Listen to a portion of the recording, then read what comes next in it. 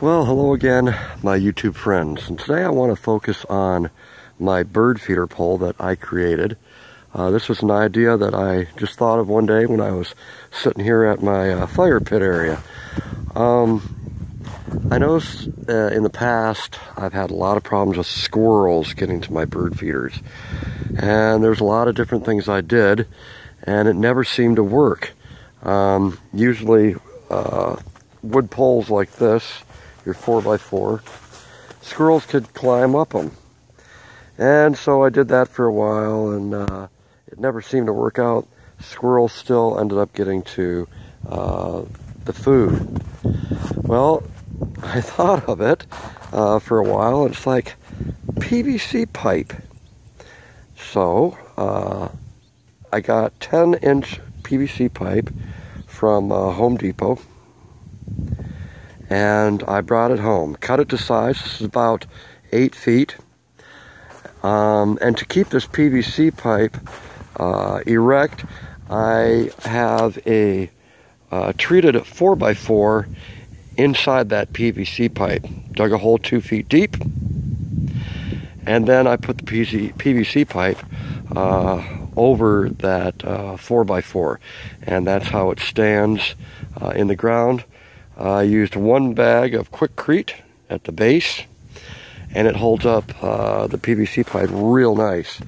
I uh, added the, uh, uh I guess you'd say, design uh, myself uh, to the top, just to give it a little bit of difference, uniqueness.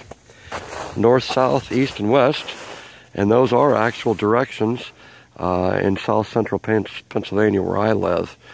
Um, this bird feeder pole has been here for about two years now, almost two years.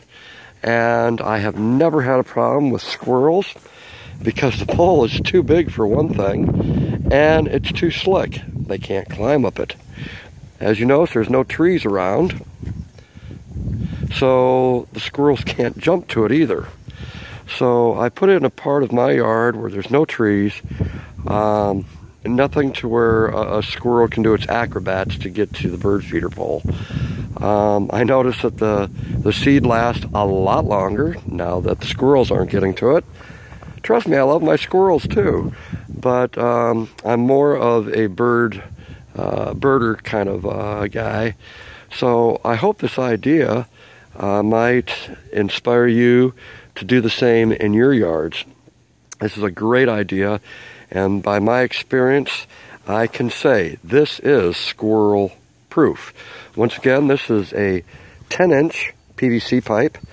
Uh, two years ago, this pipe cost me $44 and it came in a length of 10 feet. So I had to cut it down uh, two feet with a sawzall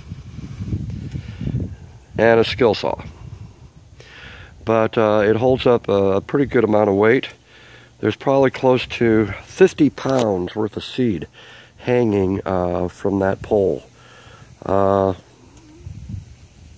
wind has never bothered it. You can probably hear the wind in the background. But um, if you like this idea and you'd like to ask any questions about it, don't hesitate to ask. I'd love to hear from you. Uh, if you like my channel, it's very eclectic. I would love to have you subscribe.